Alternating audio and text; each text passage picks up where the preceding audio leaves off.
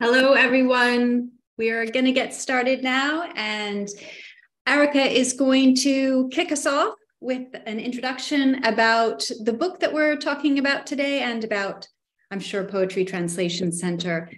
Thank you, Erica. Go ahead, take it away. Hi, hello, and a warm welcome to you all.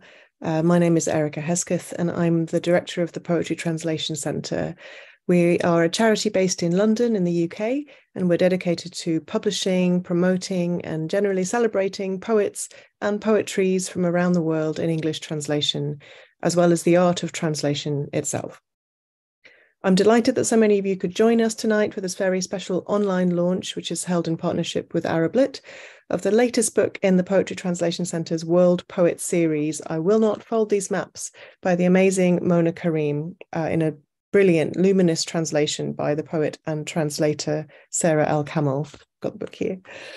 I'm sure many of you are here because you're already fans of Mona Kareem. Uh, for those of you who are new to her work, you're really in for a huge treat tonight. The poems in this selection are extraordinary, they are delicate, they're challenging, they effortlessly tread that line between the personal and the political in a way that is awe inspiring. It was such a pleasure to be in proximity to Mona's work during the publication of this book, and I really hope it will find the wide audience that it deserves. Um, now, this book, like all books, is the product of collaboration. Many hands have helped to carry it into the world. But I really want to give a special thank you at this time to Nashwa Nasreldin, who, as well as being um, an, an, editor with Arablit, was the associate editor on I Will Not Fold These Maps and has been a central collaborator from the start of this project. Uh, so, Nashwa, your skill and sensitivity have been essential to the success of this book, and I'm really glad that we got to work with you on this. Um, I uh, I understand that Mona is on her way, um, but we're going to start the event um, handing over to M. Lynx Qualey, who's the founding editor of Arablit, as you know, who's going to introduce the rest of the event and the speakers. Um, and I'd just like to sign off my part with a huge congratulations to Mona, Sara, and to Nashwa, and uh, with an encouragement to you all to buy and enjoy this beautiful book if you haven't already. Thank you very much. Thank you so much, Erica. Um, and I would I would echo that. I really have enjoyed this collection a lot, um, both the poems and and also the the commentary that that comes around it. So I'm going to just start with a little bit of housekeeping, um, and and that is uh, please use the comments uh, and use them both for use them for three things. Um, the comments just to say hello and where you're coming in from today. I think everyone always, or I always like to see those sorts of things. Questions, please put in questions at any point. Um, and, and then we will uh, sort them out, taking questions at the end. And also, we're taking requests. So if you have a particular poem uh, that you would like Mona or Sara to read, then we would be happy to also take requests. We not necessarily promising, but uh, as with questions, but but we're also taking requests. So um, probably if you're at this event, you already know the um, the principles involved but I will just briefly introduce everyone. Mona Kareem is the author of three poetry collections. Her poetry has been translated into nine languages and appeared in English in Poetry, Poetry Northwest, Michigan Quarterly, Poetry London, Modern Poetry in Translation, among others. She was a recipient of a 2021 literary grant from the National Endowment for the Arts. Kareem holds a PhD in comparative literature and works as an assistant professor of Middle East Studies at Washington University, St. Louis. Her translations include Ashraf Fayadh's Instructions Within, which was um, longlisted for a Best Translated Book Award, and Ra'ad Abdulqadir's Except for This Unseen Thread. And then from, from the English to Arabic, Octavia Butler's um, seminal science fiction novel, Kindred. Sara Elkamel is a poet, journalist, translator based in Cairo. She holds an MA in arts journalism from Columbia and an MFA in poetry from NYU. Her poems have appeared in Poetry Magazine, Ploughshares, the Iowa Review, etc. And in the anthologies Best New Poets tw- uh, 2020 and 2022, Best of the Net 20, she was named winner of the Redividers 2021 Blurred Genre Contest and Tinderbox's 2022 Brett Elizabeth Jenkins Poetry Prize. Her debut chapbook, Field of No Justice, was published by the African Poetry Book Fund and Akashic Books in 2021. And since we published this bio, I think two days ago it was announced that she's the winner of the 2022 Goldstein Prize for Poetry for In the Footsteps of Enayat Zayyat, which is so exciting, will be appearing in Michigan Quarterly Review in this, this summer. Can't wait to see it. Nashwa Nasreldin is a writer, editor, and a translator of Arabic literature she is the translator of the collaborative novel Shatila Stories from Peirene Press and Taleb Alrefai's novel Shadow of the Sun, which is forthcoming from Banipal Books. She's a contributing editor at Arab Lit and Arab Lit Quarterly and holds an MFA in poetry from the Vermont College of Fine Arts. And of course, importantly, is um, an editor of, of the editor of, of this poetry collection. Um, so I will just, as we wait on Mona, I'm going to shift to starting with Sara. And I wanted to, to start with this figure of the poet translator, which uh, is a figure that appears in, in Mona's poetry.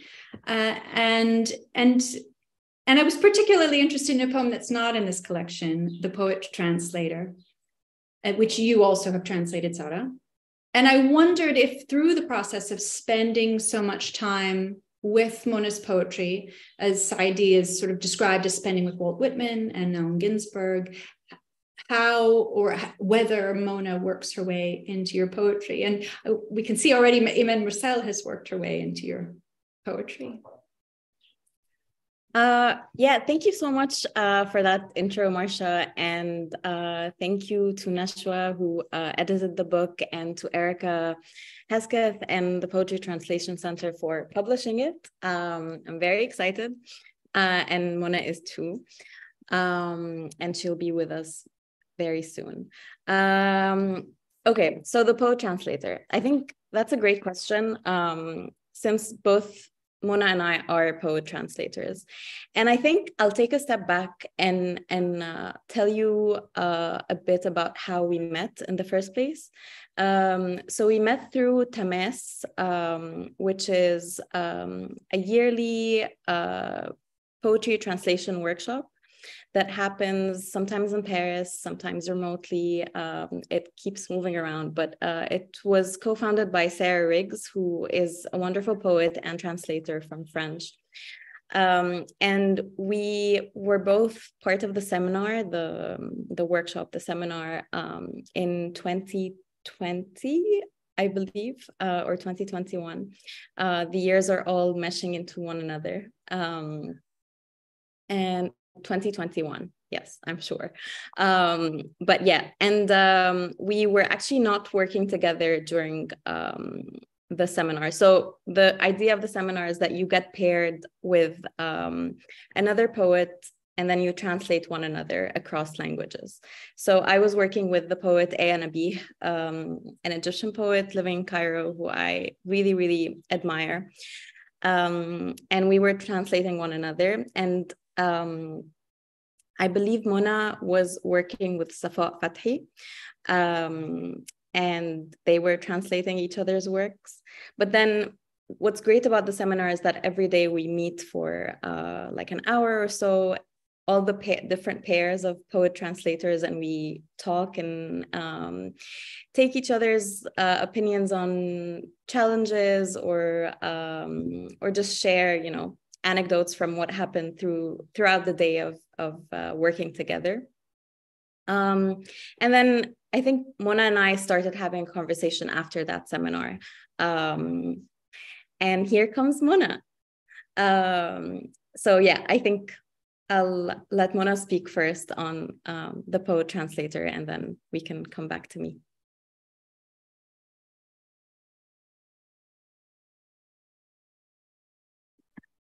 Hi.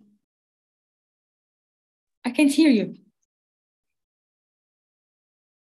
I am on mute. Okay. So you missed your introduction, but you already know yourself. So yes, I'm so sorry. um, it was so wonderful to have you here. Uh, so we were talking about the figure of the poet translator, and and Sara brought us through a little bit about how you met in in that workshop uh, organized by Sarah Riggs, and and so I wanted you know to to ask you to talk about the role of the poet translator and how you see the poet translator um, particularly you know in the context both of of america which i think has been in some ways unfriendly to this you know um, role of the poet translator and and just in general um, and the role in arabic letters etc so go ahead mona yeah. thank you um yes first i would like to Thank you, Marcia, and for Arablit, um, Nashwa also for making this book happen. And Sara, I don't know where she disappeared. The she's the ghost of the translator. no, you, you can turn it off. um, but um, I was gonna say um, um, because you know this is a figure that I've always been thinking around and um, um, thinking with, learning from, but also in my new book, new collection of poems that will come out next year. Um, I try to actually pay tribute to such figures, you know, including um, you noticed uh, Saadi Youssef, uh, Sargon Boulus, and I started to pay attention to this figure because um, you know when when i was in the arab world and arabic was all of all of my world like i took it for granted this figure. And i assumed that every um, poet um, if they are not bilingual but they would be eager for another language as a way of um, you know finding a way to to change poetics from within you know so when we look at the translations of that Saadi Youssef has done, and then simultaneously the poetry he was writing, you you see a lot of crossover. You see these figures coming from here and going there. You see phrases, you know, and in his translations, um, his translations are unique. You know, when you read Cavafy in Saadi's translation, it's it's his. You know, it's not it's not um, anyone else's. Um, so I love this blurring between translation and you know uh, the original. And I love this use of translation as a poetics, as a generator of poetics, um, but also um, um, as um, you know, it it it unsettles Arabic from within. You know, it it um, gives it an, a new soul, a new um, air to it. so I guess I started to think then about the poet translator more as a more complex figure than just a literati. You know, you start to realize that, you know, uh, for example, when you are in a different scene than your linguistic scene, you are necessarily always translating. You know, a poem is always a translation. You are constantly in a, you know, a process of um, um, translation. Um, and the beautiful thing about translation that you can't find um, in in everyday let's say in contemporary scenes is that you are allowed to have conversations with poets from all ages and genres and languages you know and geographies you know so um i i like this superpower that is in in translation and i think it is something that poets uh, should should claim more uh, bluntly and i also was thinking that when I was reading your your questions is there is a poem that fits every question that I can read and and Sara can read the translation as well. Excellent. So Sara, now I'm gonna go back to you to finish the second part of the question. Now that Mona has taken the first. Uh, yeah, I um. So yeah, can you repeat the question? Sorry so uh, the in in this this poem the poet translator so walt whitman really like kind of comes into Saadi Youssef's poetry and, and Allen Ginsberg. And I wondered if through the process of translating Mona, how she inhabits your your poetry or or doesn't now. Um, I think I'll be I'll be curious how my answer to this question changes the longer we work together, Mona and I. Um, I think uh, for now, the the influence is definitely there uh, just by virtue of my practice of translating so much of her work. So uh, over the past year and a half, um, I've read her uh, three published collections and, and, and unpublished work in progress and translated around 100 pages. Um, and so I think because I'm very much in this mode of translation, um, I'm learning from the process itself. So, for example, um, I feel like translation forces me to really experiment with syntax and sentence structure um, because uh, the meaning is really dependent on sentence structure when you translate. Um, so that's like one of the elements that can either uphold the meaning or change it or tweak it. Um, and I'm in, general, I'm really obsessed with the sentence as a unit. So I'm really happy that I'm I'm getting through translation and retranslation and drafting um, to just play around with syntax and explore its uh, various potentials, especially that sometimes it's really awkward if you translate verbatim um, across languages. And then I enjoy the awkwardness in that. Um, and then, so I've started in my own poetry to experiment with different sentence structures and sometimes a bit awkward or wordy sentence structures. Um, but I'm really enjoying that. It's in a way, I'm looking at my own sentences when I write poetry as um, in the same way or in a similar way that I'm looking at Mona's work when I translate it. Um, so that's that's been a great workout for my like syntax muscle, I think. Um, and then yeah, I I also think that Mona's writing, um, I'm very drawn to her uh, fragments or the poems that exist in fragments. Um, and so I'm and I've been timid uh, about trying that in my own work, but lately I have been working um, more in that direction. Um, and and then also, I think I'm very lucky that Mona is around and that we're uh, we have like a very open channel of communication. So uh, another way that she influences my work is that she reads my work um, and we can have conversations um, around each other's works and and give feedback not just in the capacity of like me as the translator and like the um, i think the roles aren't very static between us which is um, wonderful for for my work as well. Excellent. Thank you so much. So uh, Nashwa, you already know that um, to, to me, editing poetry is somewhat of a magical process and that I'm very nervous about it.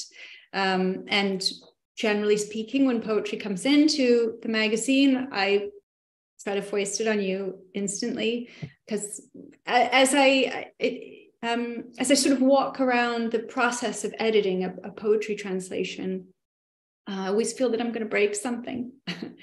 and I wondered if you could talk about the role of the editor when working with poetry and translation and how it's different or not different from, from working with prose and translation or other forms. Yeah, thank you very much, Marcia. And I just want to echo everybody else's thanks as well. I mean, especially to Mona and Sara for you know sharing your beautiful work with us. We're so excited to have been able to publish this collection here in the UK and to the Poetry Translation Centre for not only sort of running with it, but getting so excited with us as well. It's been really, really wonderful so far. Um, and yeah, in terms of editing poetry versus prose, there, there's a lot that I can say. I also wanted to say that it's very different. Um, obviously, you know, any every editor will have their own process. Will, um, and I'm sure even sort of Mona and Sara would be able to kind of say from their own experiences of either editing their own or editing someone else's poetry um, that you know it's it's very personal thing. Um, for me, I would say there is a there's a big difference actually when I'm editing prose.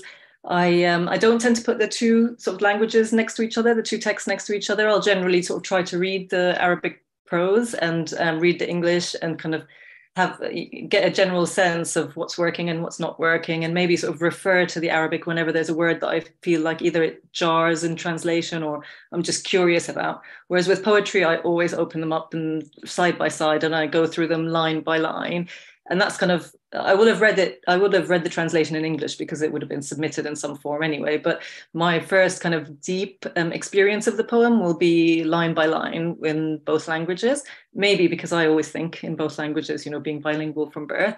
Um, but I, I prefer to go through and look at the word choices um, and the phrasings first and get all my questions out in the open initially have that discussion with the translator without sort of correcting anything or amending anything or suggesting anything, just querying, you know, at that stage. Um, but then the most important part comes later for me, which is the listening. And that's what I would say I do, you know, most intensely when I'm editing poetry more than with prose, which is just to read and listen to the, uh, the music and the rhythm, the, the sounds of both um, the Arabic original and the English, um, not to make sure that they match in any way, but that they somehow, you know, speak to each other. And for that, sometimes that editing poetry can take me a much longer time because I need to be in the right frame of mind and I need to be in a quiet space.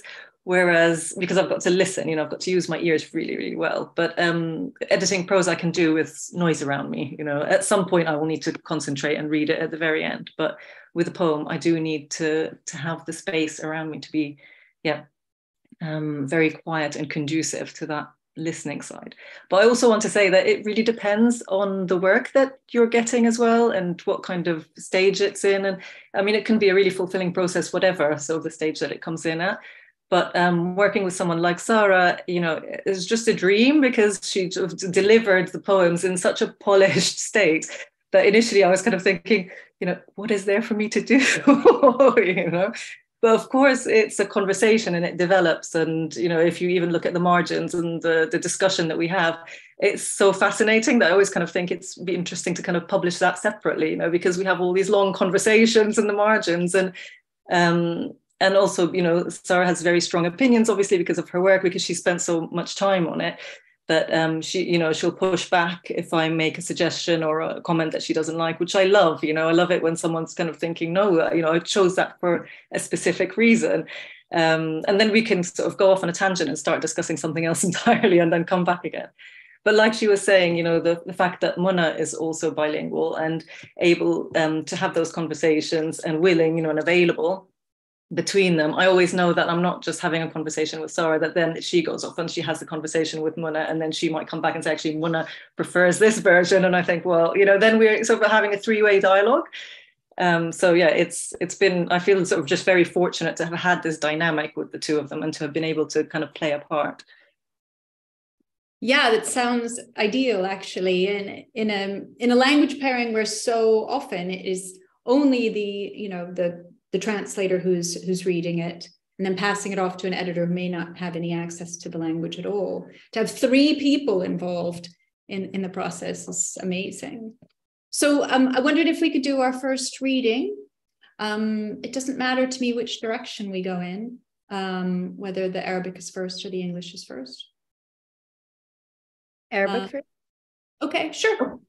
Yeah um can you hear me well Yes. Okay. Yeah, because I'm next to a kitchen, so I don't know how to silence them. but uh, I hope the I hope that people can understand the poem. الشاعر المهجري يذبح صوته في صيف حارق أحرق من الصيف الماضي وأبرد من التالي نزل الشاعر من الجنوب الأعلى إلى الجنوب الأدنى نزل ثم وقف على حافة الصخرة وذبح صوتا. هكذا بكل هدوء. رمشت عيناه الضيقتان بانزعاج. لم يقرأ الفاتحة ولم يحدد لله لمن يهدي هذا القربان. لقد زهق الشاعر من كون صوته استعارة أراد أن يرى دم صوته شحمه ولحمه حسبه ونسبه. أن يسمع اهتزاز الحبال حتى لو تكلفه لفظة موت لفظة الموت. في لغتنا يجد نفسه مقدما الاسم على الفعل لوثة الأنا الغنائية ربما. يقطف كلمات تيبست حتى استحالت ذهبا. ينفض عنها غبار القرون ثم يغرسها في أسس صغيرة. يظن الشاعر أن بإمكانه إبراء الأكم وإحياء الموتى. أما في لغتهم يقطع الجبال والمحيطات تاركا طلاسم على كل شجرة كي لا يستحيل إلى مرايا يأتي بجبل من سفوح كاليفورنيا ثم يلقي به في خليج المكسيك ليطفو ثانية فوق أنبوب نفط كل صباح أستيقظ على صوته أوصد الشباك في وجهه لأكمل نومي.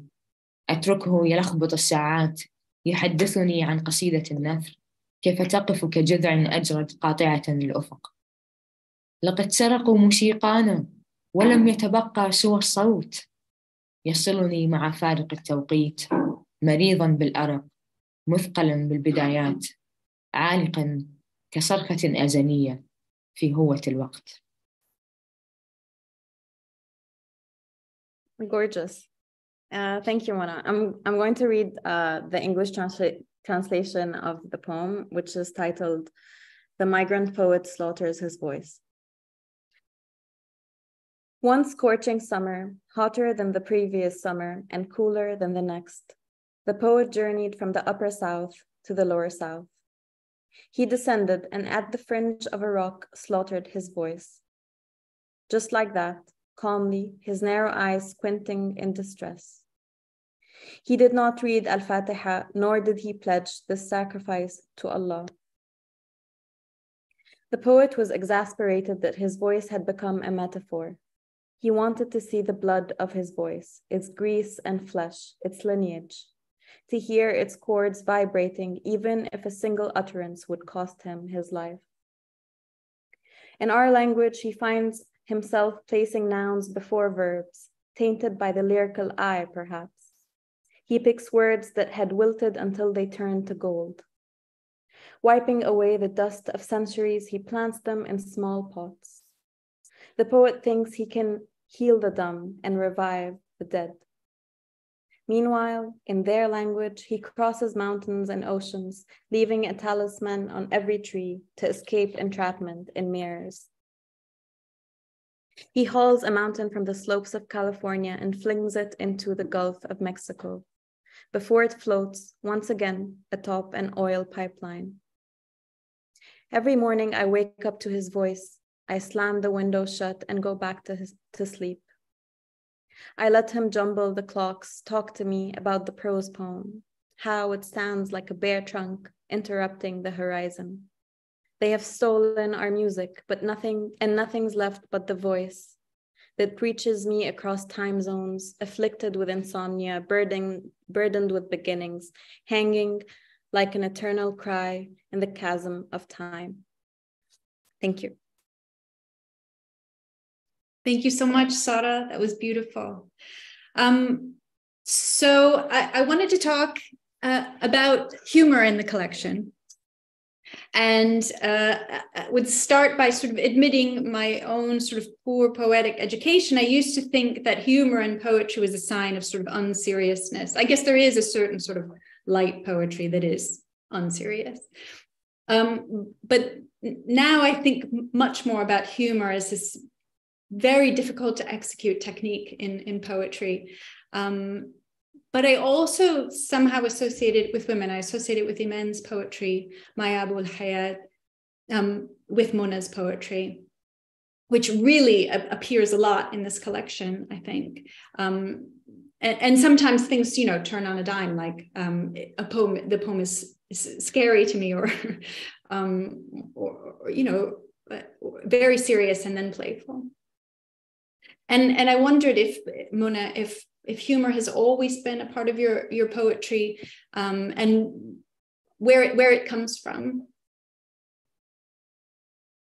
Um, yeah, thank you for this question because it uh, reminded me like that. Yeah, actually, humor came later in into my poetry. I mean, I I totally agree with you. I've always thought also it's unserious to uh, to joke, also maybe maybe wondered how how do you even you know put humor into into poetry?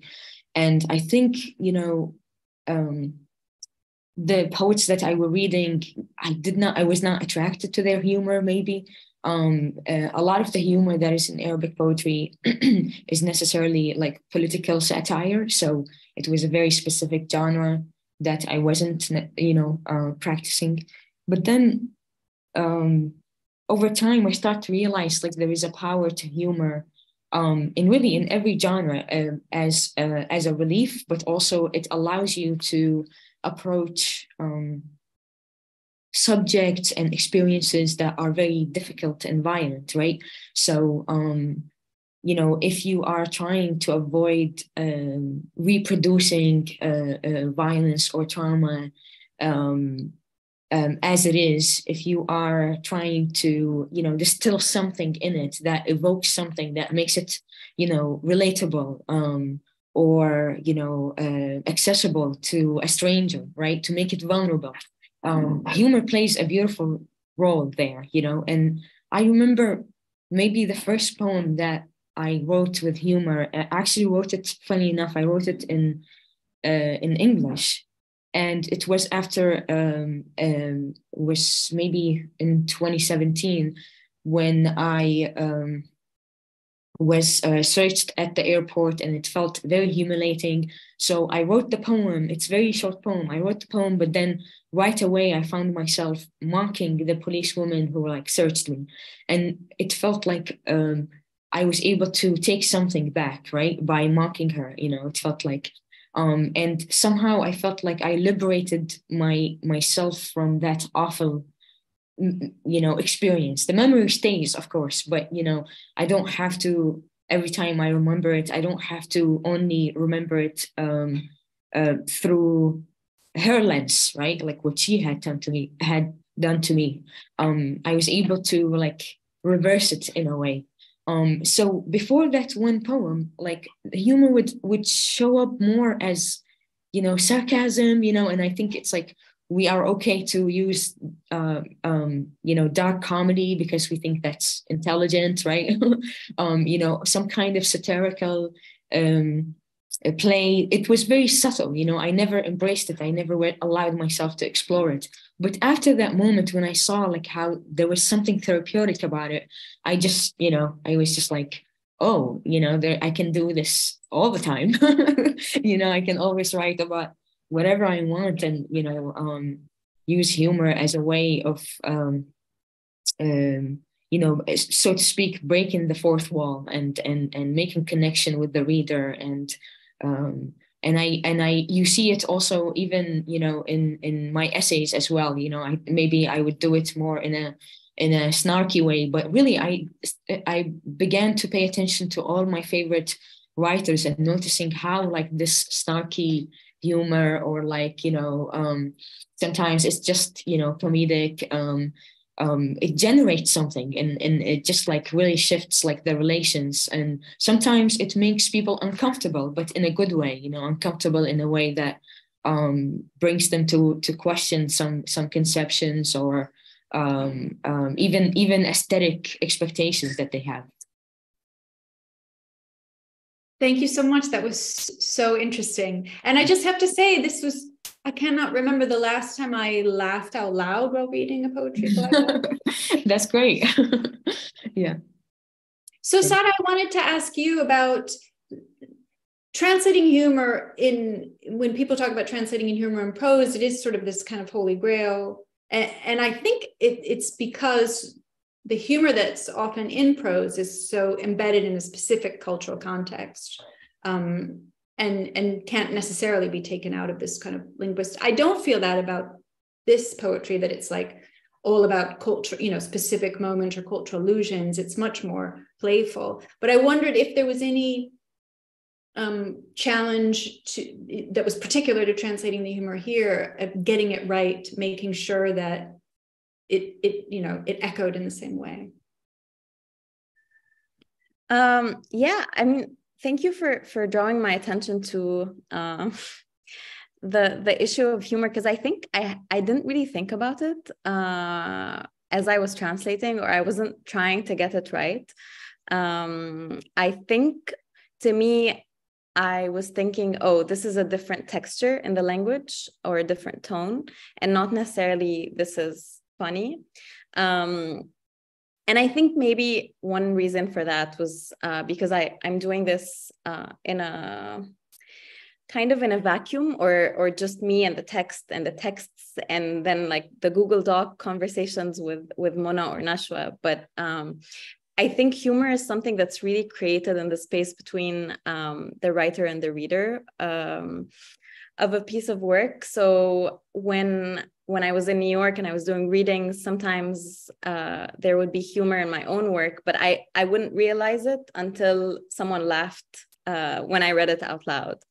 Um, and I actually remember I translated a poem by a friend um, and a writer I admire, Farah Barkawi, a Palestinian writer. Uh, I translated a prose poem by her, and we both read it in New York at the same reading, her in Arabic and me in English. Uh, and people laughed so much when she was reading it, and when I was reading it, nothing. um, so, so that um, I don't know. I think I think going back to the textures and and you you um, alluded to this Marcia earlier when when you said that sometimes a poem you can enter it and and at at the beginning it can come across as scary or uh, threatening somehow and then it flips very suddenly. And i think that's the challenging um, that's the biggest challenge with translating mona's work because it feels like it's it's standing on very shaky ground on so many different levels. So um, the the textures of the language change. Uh, sometimes it's interspersing narrative elements with uh, very lyric elements. Um, there, um, there's subject matter wise. There's also variations, and um, so I feel like the one poem, even if it's really short there it's a journey and i and i have to decide whether i'm just going to go with the journey or um, flatten it which is really heartbreaking to say but i think uh, i'm working against this impulse somehow to even the tone and to make it um, and i i think tense is one thing that um, that gets really muddled in translation because uh, I I I think Arabic writing is more um, flexible with tense, but then like one thing that as an editor or like a, a translator, um, you go in and you're like, oh, this is not consistent, and you you have to like make things um, make sense. And I think I have to constantly silence that voice of like, oh, this needs to make sense in uh, whatever preconceived ways that we think sense uh, should look like. Um, but yeah, so I think what I've done is to um, sometimes extend the qualities in the language that um, are associated with humor. So, for example, um, hyperbole. Um, so, in one unpublished poem uh, that I really, really love, uh, its title is Absence Without Arms. So, like, already the, the title is really uh, intense. Uh, there's one stanza that says, In your absence, I did nothing unnatural. I archived my dreams. Okay. And it goes on. And then I'm like, and I don't remember what the word archived was in the Arabic, but I feel like archived is such a heavy um, word to then contrast with what came before. I did nothing and unnatural. And then to like think of this uh, very arduous task of archival. Um, so maybe I like sometimes just use the bigger words to, to, to create more of a contrast. Um, and then also Mona uses or she keeps making up these uh, occupations. So there's like a death policeman, there's disease police. Um, and I think maybe one option I could have had was to tame these um, terms and like use policeman of death and and not capitalize, for example, but I like preserve it and like capitalize police policemen and death to make it like seem like an occupation to maybe extend that um, humorous uh, tone. So yeah, I, I think I'm still experimenting with with how to preserve um, the playfulness, but um, yeah. That's really fantastic. Thank you, Sara. Uh, and I, I, I I really appreciate what you say about not flattening the tone because some of really the joy of some of the poems is how they tonally change and take you on this immense um, journey back into different spaces. Um, so one of the poems that I really like for its humor is My Body, My Vehicle. And so I wondered if both of you could read that. And now we won't be able to hear whether people are laughing only at the Arabic and not at the English, but Okay. Um, جسدي مركبتي جسدي مركبتي. أقودها مثل مراهق مستهتر. تصطدم بالآخرين بالأرصفة. تجتاز الإشارة الحمراء في الثانية الأخيرة فيهز شطي الموت رأسه. أحيانا أفقد ملامحا أو خصلة أو عضوا ولا أجد قطع غيار في السكراب. خسرت شفاهي الفضية وقلبي المغطى بالشحوم وخسرت قبعتي المتحركة ثم يدي اليسرى. التي أرى من خلالها الآخرين. مثل رجل كندي في أيام الاثنين أشغلها بهدوء وأجرف الثلج من حولها. أدعها, أدعها تسخ تسخن وتصحصح تستعيد حواسها. فلا مركبة تنهض من السرير مستعدة لمواجهة العالم. في الغرفة أدعها تحوم كلما اختنقت الفكرة. تخدش أظافرها المهملة خشب الأرض بانتظار اللغة تخرج والغصة تزول. ما الذي علي فعله بمركبتي هذه؟ لا يمكنني ركنها وهجرها في أي مكان. حين أذهب للتسوق تحطم عجلاتي السيراميك اللامع وحين أنزل إلى البحر تنغرس في الرمال. صغيرة وسمراء ومحطمة زجاجها سجل الريح وصوتها يتداعى في ساعة في ساعة الزحام. Okay. Um, thank you, Mona. Um, okay, so this is my body, my vehicle. My body is my vehicle. I drive her like a reckless teen. She crashes into others, into sidewalks. She breaks red lights at the last second as the death policeman shakes his head. Sometimes I lose one of my features, a strand of hair or an organ, and I find no spare parts in the junkyard. I lost my silver lips and my grease coated heart. and I lost my rotating hat, then my left hand, and with it, my peripheral vision. Like a Canadian man on Mondays, I start the engine softly and shovel the surrounding snow. I let her warm up and come alive, regain her senses, for no vehicle rises from bed, ready to face the street. In the room, I let her roam. Every time an idea struggles for air, she, crash, she scratches with her unkempt nails the wooden floors, waiting for language until it unfurls, easing the crisis. What do I do with this vehicle of mine? I cannot park her, abandon her anywhere. When I go shopping, my wheels shatter the glossy ceramic floors, and when I go to the beach, she sinks into the sand. Small and dark complected and broken, her windows are an almanac of winds, and her voice falters at rush hour. Thank you.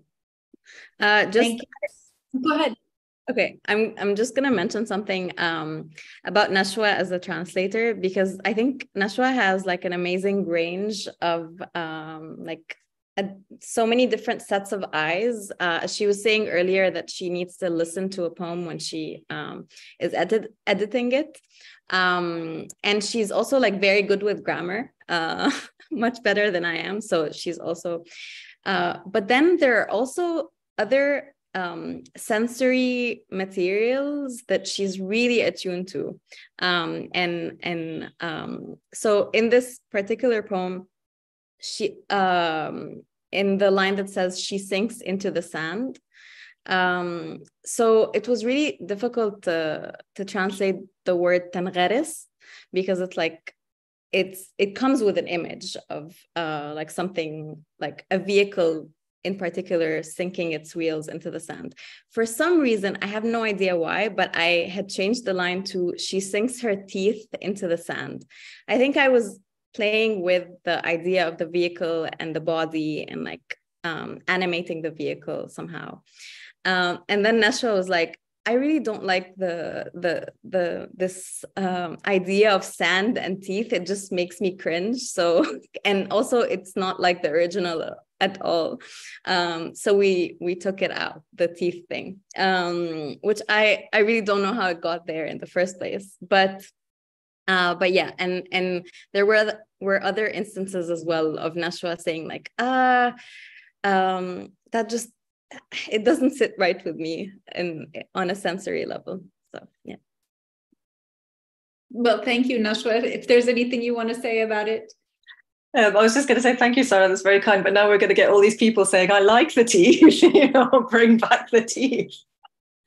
I was going to say, yeah. I mean, I like both versions, eh, but um, when with with the teeth, the the the vehicle has more power, as if it's you know it's able to to resist the sand while um, with sinking you, are just surrendered which is i feel is is more the feel of the poem right like the helplessness um, yeah. So i just wanted to say that um, people are adding lots of clapping emojis into the comments. So you know, it's it's a, little bit weird in, in an online event but but they're there. Um, the next thing I wanted to talk about is um, friendship in, in the collection. And this is maybe one of my personal obsessions because I feel like so much of literature is taken up by romantic love.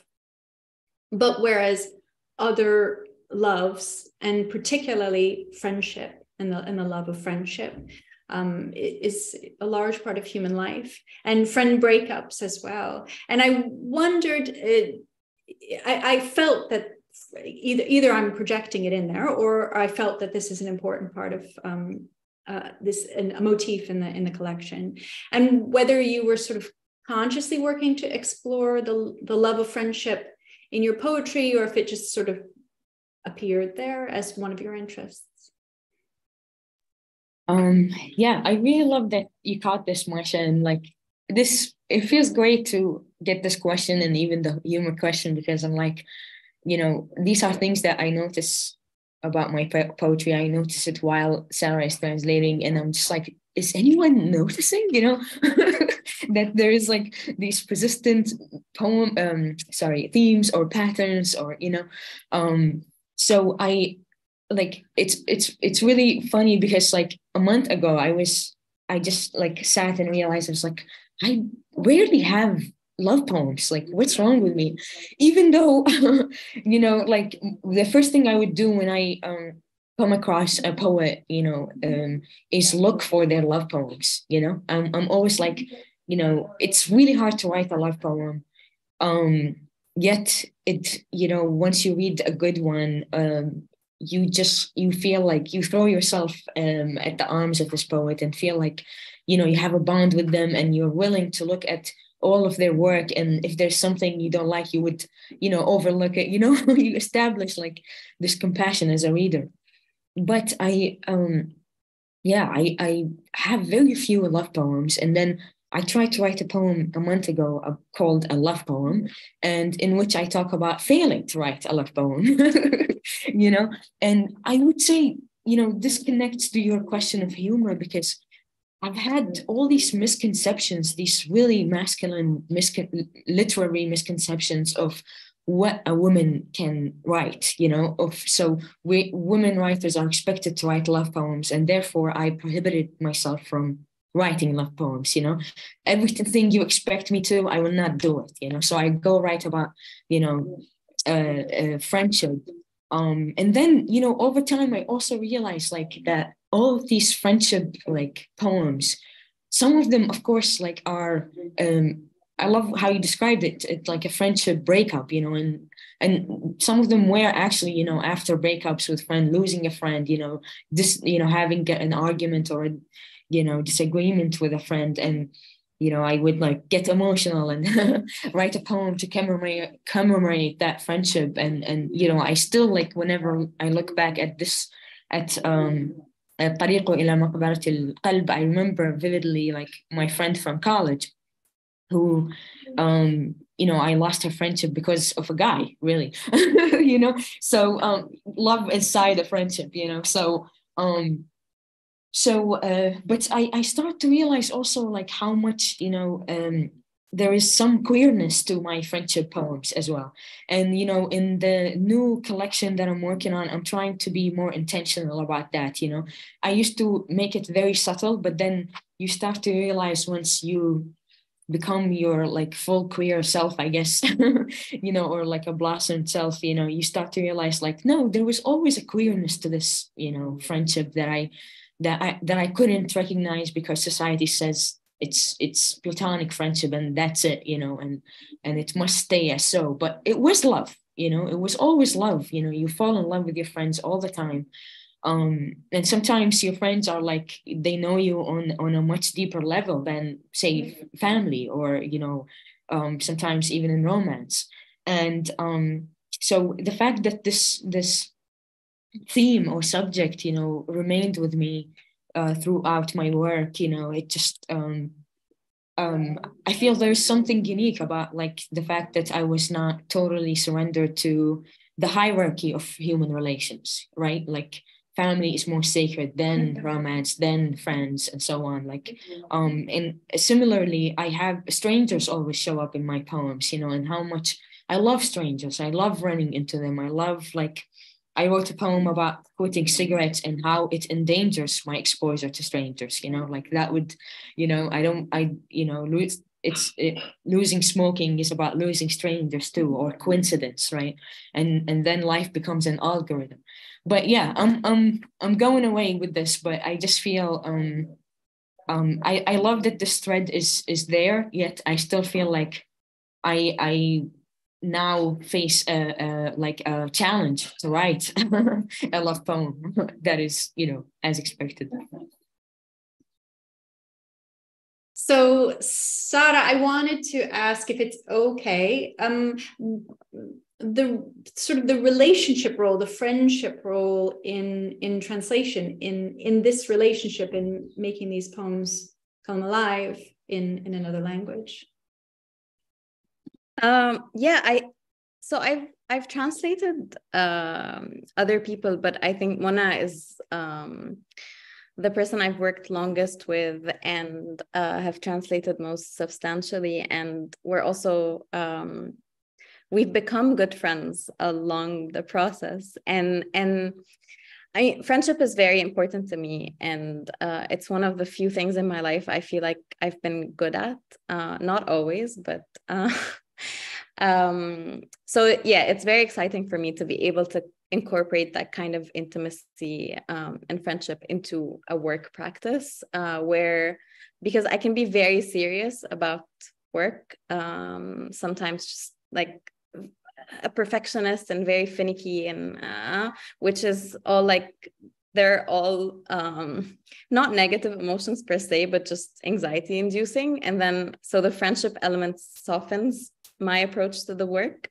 Um and yeah so i'm i'm excited when i send mona poems to read like um my translations my drafts uh and i'm like it's as if i'm sharing something with her that i made for her um like a, a tiny gift or or something. It's not that i'm uh you know what i mean but it's like she's going to open the poems and then uh and i'm not nervous because we've developed a practice of uh, like even if she disagrees with my choices there's like i don't i don't really take it personally at all. It's like oh let's see how else we can do this uh, because there's like a, a kindness and um, tenderness between us. So it's just like a very positive experience for me.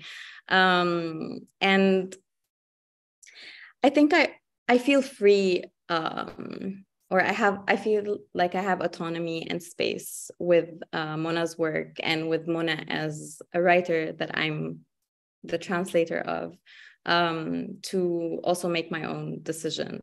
Um, so, and I'm sure that's that's been created between us. Uh, the more the trust grows, that I I am um, allowed to make changes if I want to. But then also that goes back to Mona being like such an open um, poet um, and someone who embraces change. So I, I feel like sometimes if she realizes that a poem can go in a different direction, she's like, oh, okay, let's let's change it. Let's um, and uh, yeah, okay. I Um, can I jump in here, even though I know we're sort of we're reaching sort of the time? Um, I just wanted to say that obviously the poet and translator, the relationship between the, the poet and the translator is so intimate.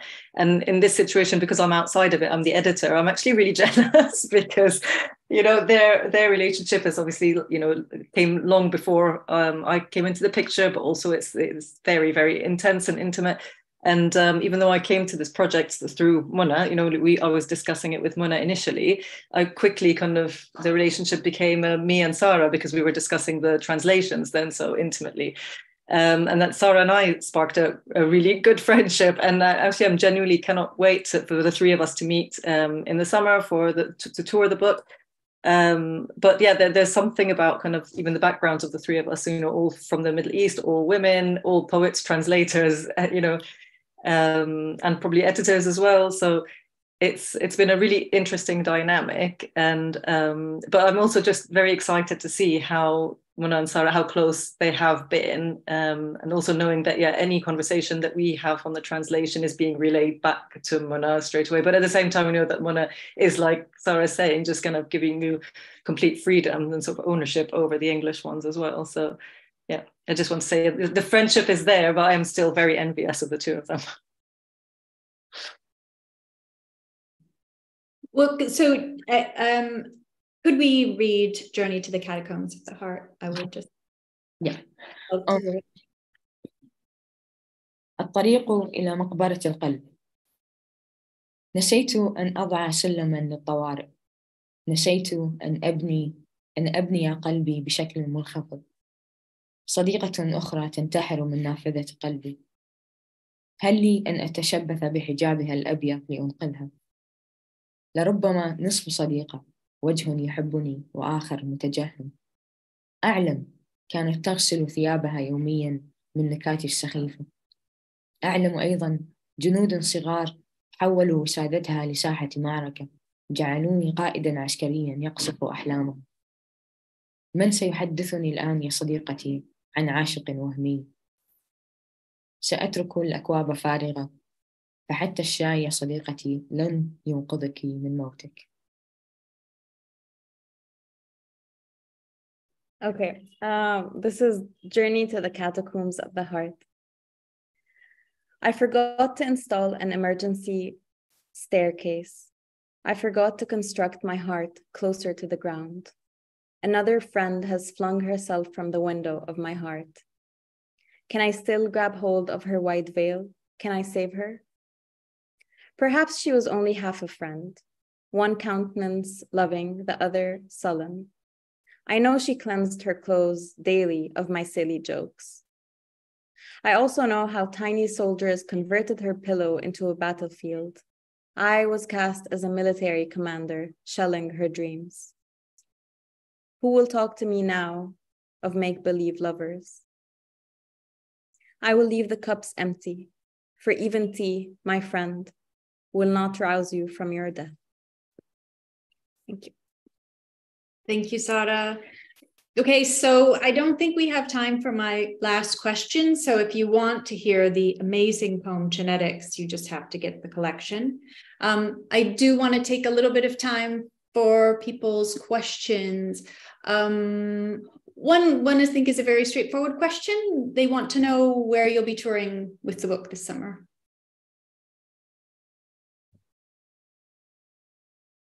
Yeah, um, we will um, will be in, in, July for the first two weeks in July. Uh, we will announce the um, details on social media, also Poetry Center. I'm sure we'll promote it. Um, they are the ones organizing it. So we'll be at uh, different literary festivals in the UK, but only in the UK. But if um, I don't know, if you want us elsewhere, you should demand us. Excellent. So I know that you'll be at Shabak Festival. Uh, anywhere yes. else in particular, people can look for you. Um, yes, Shabak Festival, Liverpool Festival, uh, Ledbury Festival, and um, also um, a couple of events in London that are not festival related. Yeah. Okay. Yeah. And then um, I'm curious to know how Arabic and English influence each other in your imagination. This is from Mona, and whether your bilingualism affects your process, thinking, choosing topics. Yes, absolutely. And um, I think if I may answer for Sara too, you know, it's it's I see it in her poetry as well, and I see it in her, you know, the way she approaches the translation, and I I find this is like one of the qualities that, you know, she has as a as a um, as a poet and um as a translator too. You know, um I I was gonna say even about the question that we had um of friendship and you know translators is that um I mostly hear terrible stories about you know translators with authors you know it's really sad like but um, a lot of the times they are hierarchical a lot of the times authors are have essentialist ideas of like text right?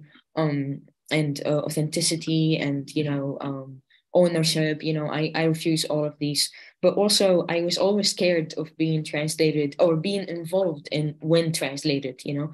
Um so i used to always like you know take a quick look and if there is just like something um wrong like for example like the wrong word right? Like i would say i would correct that and um and that's it you know and not be involved in anything. But with sara like um, she works on this on every level. Like she talked about how she works on the level of the sentence, but she thinks about translating it across forms, for example, translating, you know, um, what if we lose something with humor what do we compensate it with right? If you know uh, if there's a cultural expression do we keep it as it is and make it an awkward poetic or do we you know use something else so there is a poem that hasn't come out yet. It's called Lost in Translation. And in that poem, it's just it, the idea of this poem came because I keep saying these English sentences in Arabic that people are like, you know, so I would say, um, for example, like my phone died. You can't say this in Arabic and telephone mat, you know. it's like it's like saying my phone is deceased, right? So I um I um, started to accumulate these expressions, you know. But then also the same thing when I say things, I um, I, I say close the light, you know, instead of saying turn off the light, right? So um, like I always have these things that like it doesn't matter how long I've been living, you know, uh, in an English speaking world, like I still have them, and sometimes you know with the the English world would would you know slip or leak into my Arabic world as well. Um, so um, you know, it's been like, yeah, this is a poetic for sure, you know, and this is and I remember when I was a monolingual reader reading Arabic translations of poetry of, you know, from different cultures and seeing that and not knowing the context and the origin and still enjoying them, right? Enjoying them as something, you know, um, yeah just different and new and fresh right um so um yeah and and i think this is exactly something that sara is aware of and and you know she tries to be you know to to play along with it right like to to embrace this playfulness um, of it so this isn't exactly a question but Syed has posted it into my um, into my chat. So from Jasmine Khalil, I just want to close on this. She says, all women from the Middle East, all poets, translators, and editors, we should see more examples of this. Proud to the roof, she says. So um, thank you, everybody, for, for coming today. And thank you to you three for your um, insights into, into this work. And I encourage, um, Majda did ask I did, I think, put the book buying link in the in the YouTube comments.